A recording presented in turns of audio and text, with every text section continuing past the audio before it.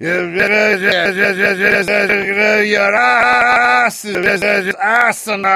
ass, ass, punk, you haven't. He, he, he, he.